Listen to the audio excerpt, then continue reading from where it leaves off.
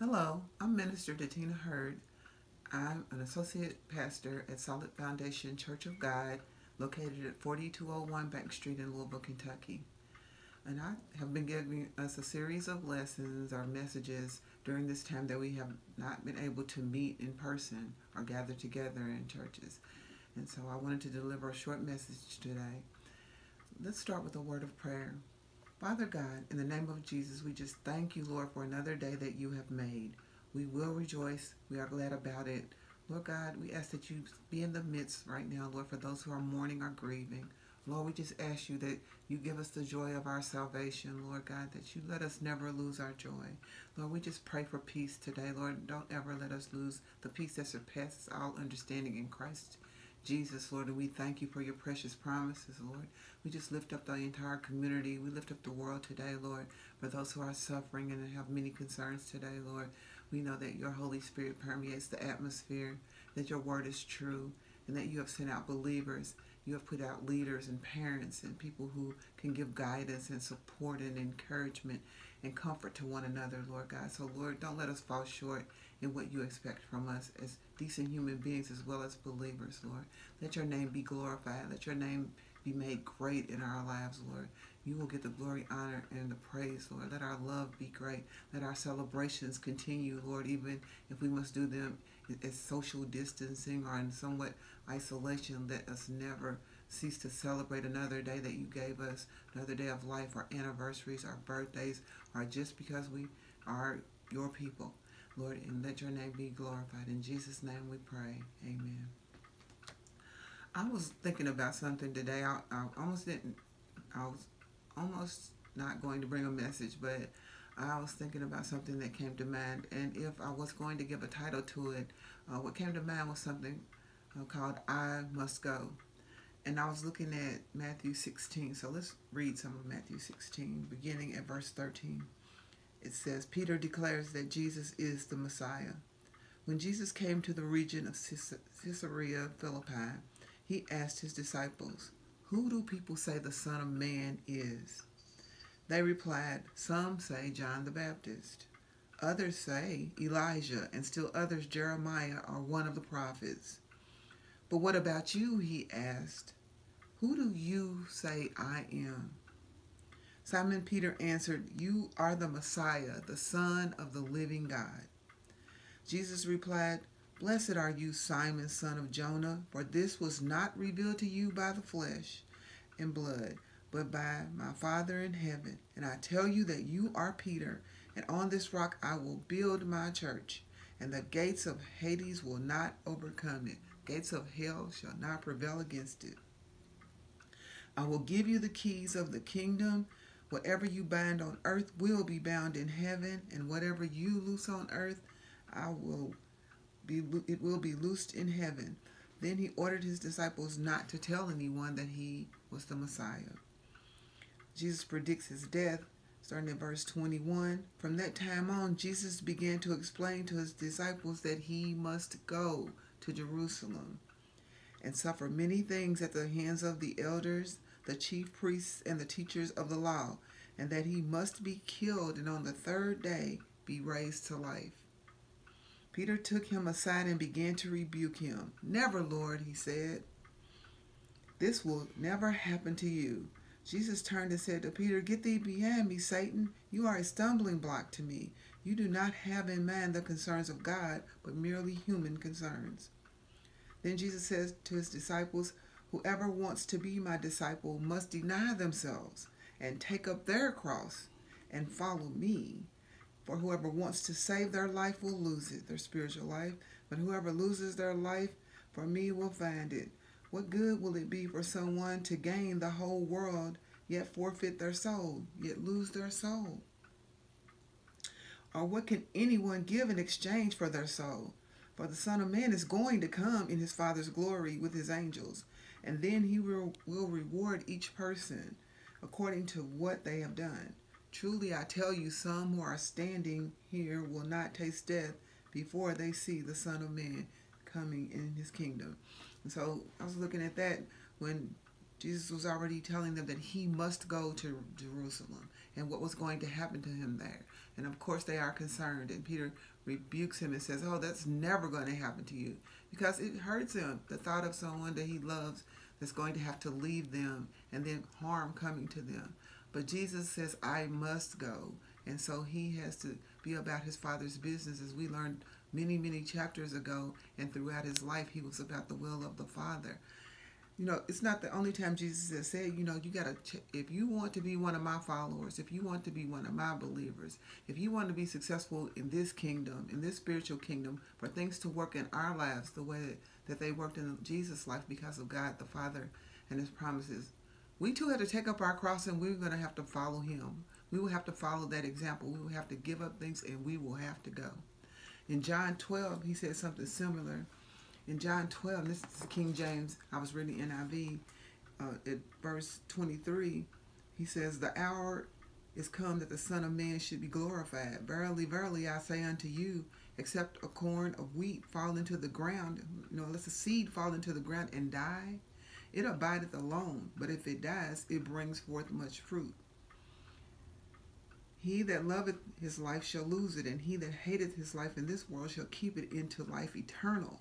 If any man serve me, let him follow me, and where I am, there shall also my servant be. If any man serve me, him will my Father honor. Now is my soul troubled, and what shall I say? Father, save me from this hour. But for this cause I came I unto this hour. Father, glorify thy name. And then came there a voice from heaven saying, I have both glorified it and will glorify it again. And the people that stood by heard it, and they said it thundered, and others said an angel spake to him. And so he's saying that that only reason they even heard that voice is for their own sake because he already knew God would be glorified if he went, if he did what it was that God had for him to do. So in chapter in Matthew chapter 20, Jesus again says to them at verse 17, now it says now Jesus was going up to Jerusalem. So we looked at chapter 16 and he said I must go, I'm going. And in chapter um, 20, Jesus goes on to say, it says, On the way, he took the twelve aside and said to them, We are going up to Jerusalem, and the Son of Man will be delivered over to the chief priests and the teachers of the law.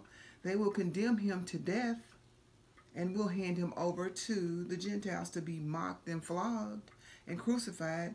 And on the third day, he will be raised to life. And so we know those things did happen. But he said, I must go. He said, We are going. And by the time we get to Palm Sunday, which today, the day that I'm making, I'm uh, a video on this message is Palm Sunday. And In chapter 21 in Matthew, he gets the coat. He has them to go get a coat. He says, Go to the village ahead of you, and at once you will find a donkey tied there. And if anyone asks you about it, tell them that that the Lord needs them, and He will send them right away. And that was to fulfill what was spoken through the prophet. Say to daughter Zion, See, your king comes to you, gentle and riding on a donkey, and on a colt the fowl of a donkey. And the disciples went and did what he said, and they brought it back, and they placed their cloaks on Jesus for him to sit on. And then a large crowd came, and they spread their cloaks on the road while others cut branches, the palm branches from the trees and spread them on the road. And the crowds that went ahead of him and those that followed shouted, Hosanna to the Son of David. Blessed is he who comes in the name of the Lord. Hosanna in the highest heaven. And when Jesus entered Jerusalem, the whole city was stirred and asked, Who is this? And the crowds answered, This is Jesus the prophet from Nazareth in Galilee. And so the point the whole thing is that he went. He even was specific in what would happen to him if he went, but Jesus went. He fulfilled the purpose for which he even came here was to go to the cross for our sins and to be mocked and to be scorned and to be ridiculed. So he knew that on that journey, a lot of things would happen that would be unpleasant, but at the end of the day, he would be glorified. He would be vindicated. God would make it all right in the end. And so the message for today is to go that sometimes that you or I might be called to go somewhere. Go to law school, go to medical school, go to high school, finish the purpose for which you are here. The the the part of the journey that leads to your destination, the goal in your destiny. Go. Sometimes you have to move. Sometimes you have to change jobs. Sometimes you have to wait. but go, just like Jesus told the disciples. And sometimes people will rebuke you, and you will have to say, I'm still going. As a matter of fact, sometimes you have to say, We are going. I had a son that went to Cincinnati yesterday. I was raised that you don't go to any town where you don't have family. But my son said, We must go. This is in our best interest. We feel as though this is what God would have for us to do at this time in our lives is going to lead to greater for us. And we plan to come back. And remember, that's what Jesus told the disciples I will be back. And we know for a fact he came back, he rose on that third day. He fulfilled every promise that he made. And throughout that whole journey, even after he had made that journey back to Jerusalem, and even though he knew what the future was going to hold, because we see that the same people that were yelling Hosanna, Hosanna, and giving him praise on one day were saying crucify him, crucify him on another day. And this just goes to show us that sometimes when we go, people may even clap for us to go, oh my goodness, my friend or my family member has gone on to do great things. And at that moment, when you're in medical school or you're in high school or you're getting that job or you're getting that home or doing those things, you know, being a better person, getting out of prison, you know, whatever thing that is you have heard in your spirit say, you get up and you do what you have to do to fulfill your destiny and go mentally, physically, go spiritually, go. And people at first may say, wow, look how great that is. But you know, sometimes people will get jealous or people will change. So you and I, we must have it in our own hearts that we are going. We want to see greater. We want to do the will of the one who sent us was Father God, just the same way it was with Jesus. We want to see what the end's going to be. We are not letting coronavirus, any virus, any sickness, anything, any disappointment stop us from fulfilling our destiny. So in this season, you know, I did a, a message earlier, so please like our page, follow our pages. Uh, Minister Datina, uh, Pastor Datina, and Solid Foundation Church of God pages if you want to see our previous messages and our future messages. But we've been talking about seeds. We've been talking about the fact that even though we may right now feel like we're in a waiting period, we still can plant. We, you hear that clock still ticking in the background.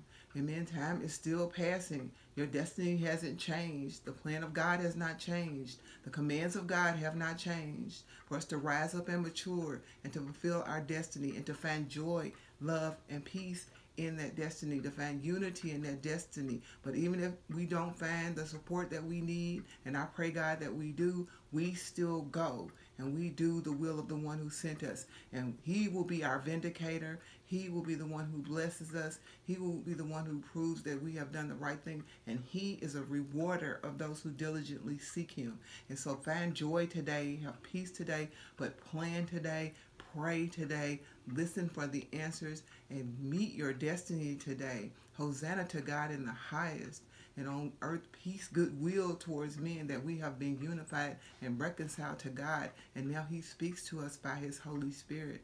And if you don't have that Holy Spirit today, you welcome God and you believe on Jesus. You welcome Jesus into your life and Holy Spirit into you into you and that you say that I do believe that Jesus Christ is the Son of God, that he did down the cross for my sins, that he was raised on the third day, and that he is seated on the right hand of the Father, and that he is going to return for me. And so, God, I welcome you into my life. I believe you. I know I need a Savior.